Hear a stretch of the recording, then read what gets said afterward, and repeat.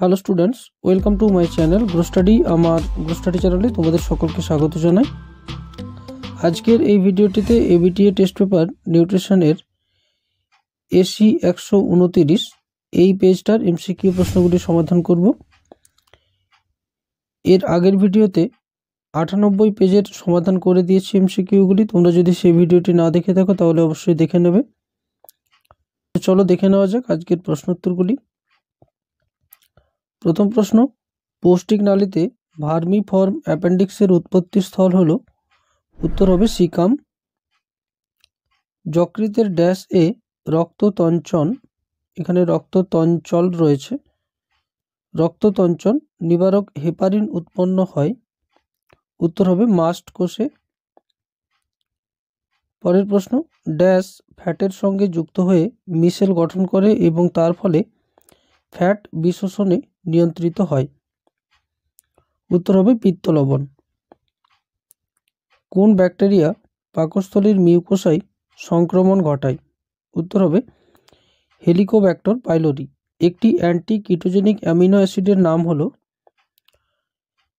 এখানে উত্তর হবে গ্লাইসিন অপশন এ, যেটা করা রয়েছে গলাইসিন।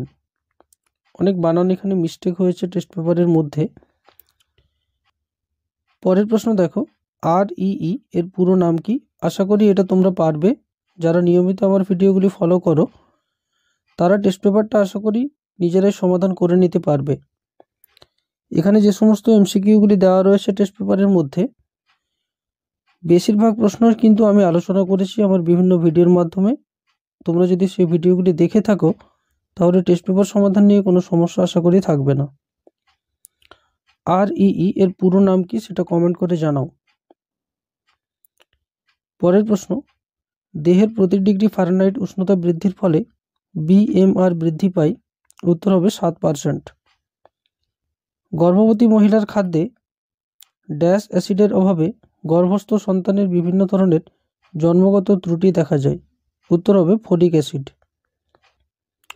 মাতৃদুগ্ধে উপস্থিত লোহা আবদ্ধকারী প্রোটিনের নাম কি? উত্তর হবে ল্যাক্টোফেরিন পরের প্রশ্ন দেখো, এই প্রশ্নটা একটু গোলমাল টাইপ হয়েছে। এই প্রশ্নটা এরকম হবে পার্নিসিয়াস অ্যানিমিয়ার জন্য দায়ী ভিটামিনটি হলো, উত্তর হবে সায়ানো কোবালামিন অর্থাৎ ভিটামিন বি টুয়েলভ এর আগের পেজেও এই প্রশ্নটা দেওয়া ছিল, যেখানে ভিটামিনের সংকেতটি দেওয়া ছিল।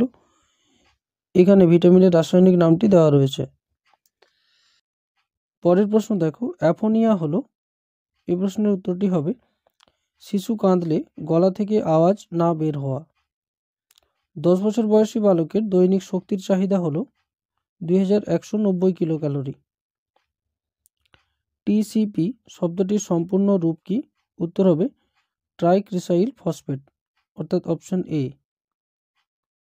পরের প্রশ্ন পিত জ্বর ও পার্নিসিয়াস অ্যানিমিয়ার ফলে ঘটে? উত্তর হবে, হিমোলাইটিক জন্ডিস। আলো আধারী পরীক্ষা কোন ভিটামিনের অভাব বোঝার জন্য করা হয়? উত্তর হবে ভিটামিন এ খাদ্যে যে খনিজ উপাদানের অভাবে গর্ভস্থ শিশুর মস্তিষ্ক ও স্নায়ুর গঠন পরিপূর্ণ হয় না, তা হলো উত্তর হবে আয়োডিন। গ্রামাঞ্চলে পুষ্টি শিক্ষা প্রদানকারী একটি কেন্দ্রীয় সংস্থা হলো আইসিডিএস আর্জিমন তেল, ভোজ্য তেলে মিশ্রিত থাকলে কোন রোগ দেখা যায়? উত্তর হবে ড্রপসি। ডাব্লিউএইচও অনুযায়ী প্রতিদিনকার খাদ্য লবণের মাধ্যমে গৃহীত আয়োডিনের পরিমাণ হওয়া উচিত। এখানে অপশনগুলো যে ইউনিটটা রয়েছে সেটা ভুল রয়েছে, কেজি দেওয়া রয়েছে, এটা মাইক্রোগ্রাম হবে। তো এই প্রশ্নের সঠিক উত্তরটি হবে একশো পঞ্চাশ মাইক্রোগ্রাম প্রতি দশ গ্রাম লবণের জন্য। পরের প্রশ্ন সিএআরই অর্থাৎ কেআর হলো একটি স্বেচ্ছাসেবী সংস্থা। অপশন সি উত্তর হবে। আইসিএমআর দু হাজার দশ এর সুপারিশ অনুযায়ী প্রতি একশো গ্রাম মুরগির ডিমে উপস্থিত শক্তির পরিমাণ হল একশো তিয়াত্তর কিলো ক্যালোরি আজকের ভিডিও এই পর্যন্তই। এখানে একশো উনতিরিশ এবং একশো তিরিশ পাতা সমাধান করা হলো। এর আগের ভিডিওতে পেজ নাম্বার আটানব্বই সমাধান করে দিয়েছি। তোমরা যদি সেই ভিডিওটা না দেখে থাকো, তাহলে অবশ্যই দেখে নেবে। এই ভিডিওটির ডিসক্রিপশন বক্সে লিঙ্ক দেওয়া রয়েছে।